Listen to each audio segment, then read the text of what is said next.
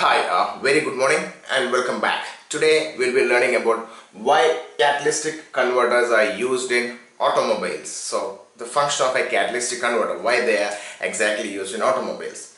The catalytic converter what they do, do is they convert the harmful pollutants coming from the exhaust of an automobile to a less harmful emission. That's what a catalytic converter is doing.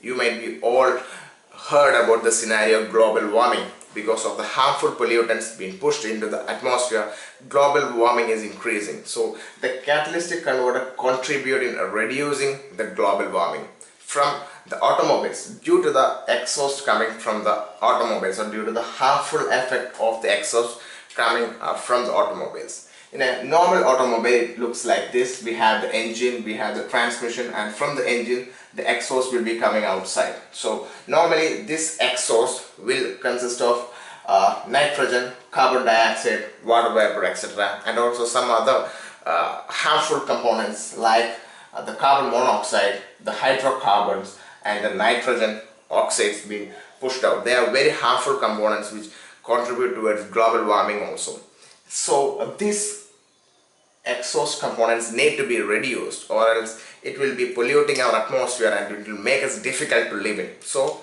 for that catalytic converters play a very important role. This is where uh, the position of a catalytic converter comes in between the exhaust which is going outside and uh, the engine. So here we have a catalytic uh, converter. It's not a very complicated unit. It's just a catalytic metallic component through which uh, the exhaust is passing out. It consists of like platinum, rhodium, palladium, metals etc. So these metals play a very important role. They work like a catalyst which makes a chemical reaction.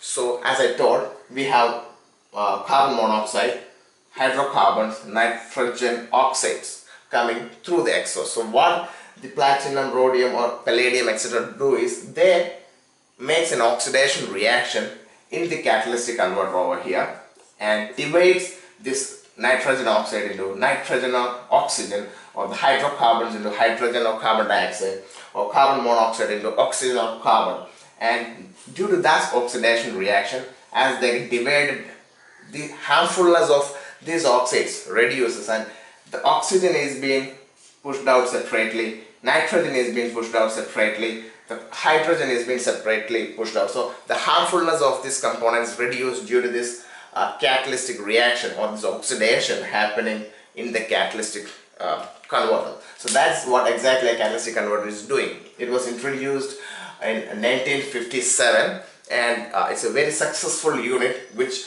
uh, contributes by reducing towards uh, the harmful uh, components coming from an automobile exhaust so I believe you understand uh, what, what, a catalytic converter is exactly doing. If you want to learn how the chemical reaction of a catalytic converter is happening or how exactly this unit is working and how these bonds have been broken down, you can click the link below over here and that particular video will explain clearly about how a catalytic converter works. If you like this video, please click the like button or do drop a comment.